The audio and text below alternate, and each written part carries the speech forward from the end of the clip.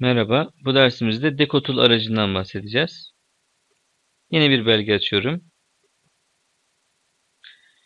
Dekotul aracımız yine araç kutumuzda çizimler alanında bulunan bir aracımız. Dekotul aracı e, aslında sıfırdan değil, hazır şekillerin bulunduğu bir bölüm. Yani biz kendimizi oluşturmuyoruz. Hazır olan e, görüntüleri, filtreleri, fırçaları, çizimleri kullanmış oluyoruz. Tabi bunlara nasıl ulaşacağımızı bakalım öncelikle.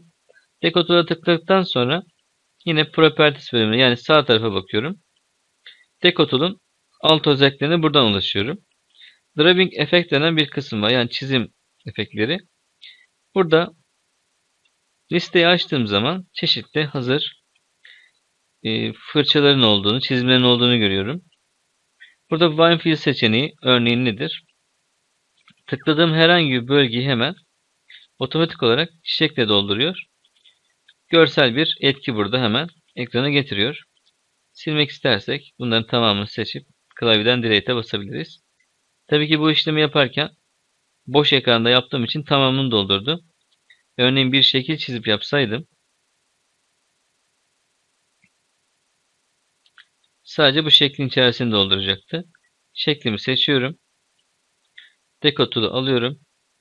Buradan Wine Fill seçeneğini alıp şekle tıklıyorum. Gördüğünüz gibi sadece şeklin içerisini doldurmuş oldu. Böylece bir doku eklemiş olduk.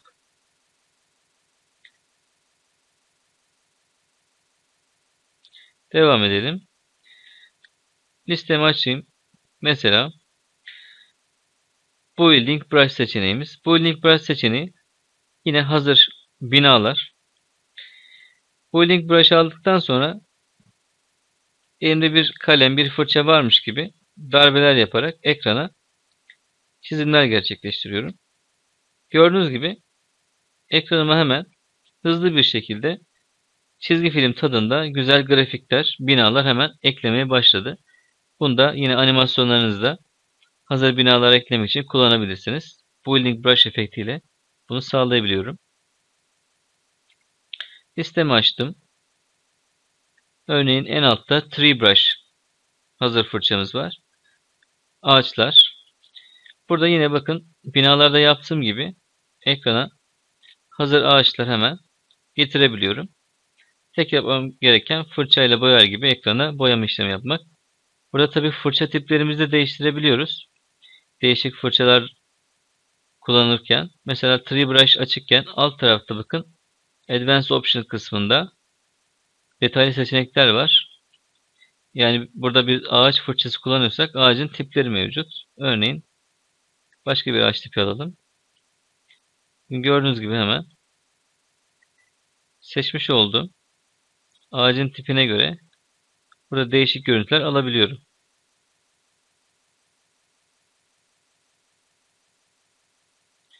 Artık siz burada sahnenizde hangi ağaçları kullanmak isterseniz bunu sahneye ekleyebilirsiniz.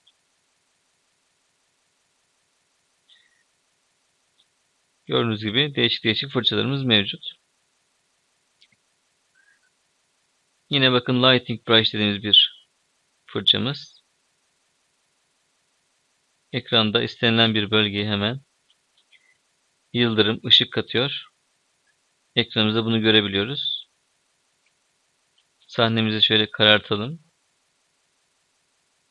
Evet gördüğünüz gibi hemen yıldırımlar, ışıklar ekrana düşmüş.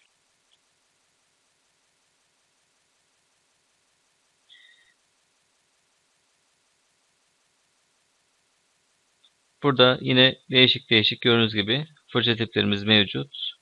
Simetri, 3D, Decorated gibi kısımları kullanarak standart çizimlerinizi, hazır şekillerinizi buradan hemen alıp ekranda kullanabilirsiniz.